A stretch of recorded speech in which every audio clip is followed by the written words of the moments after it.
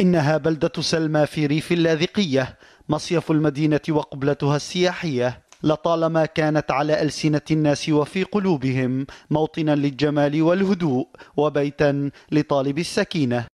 بعد عام ونصف من ثورة الكرامة وبعد أشهر مرت من الحصار والقصف المستمر بالبراميل المتفجرة وقذائف الصواريخ والمدافع المتمركزة في محاور عدة على أطراف البلدة.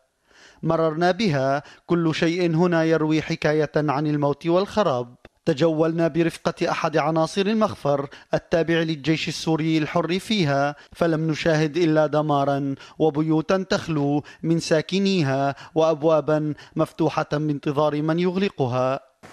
قديما كانت صوت الطائرات تمنحنا القوة والأمان. أما الآن ندع لكم الصورة كي تتكلم عنا. ماذا تعني صوت الطائرات؟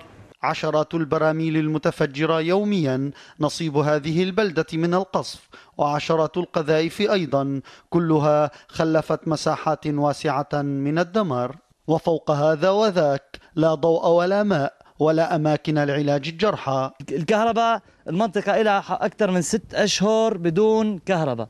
كهرباء ما في نهائيا. مي كذلك الأمر. رجعنا للعصر مثل العصر القديم. نعبي مي من من الينابيع من الآبار.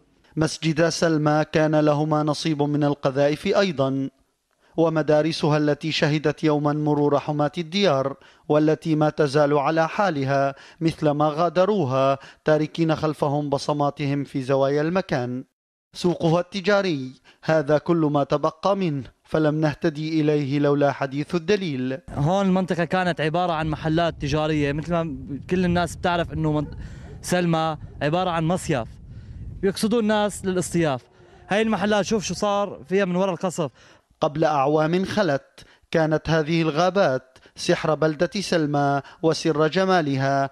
أما اليوم فقد غدت حطبا لنار تريد إحراق البلد من أجل بقاء الأسد. محمد حاج بكري أورينت نيوز ريف اللاذقية.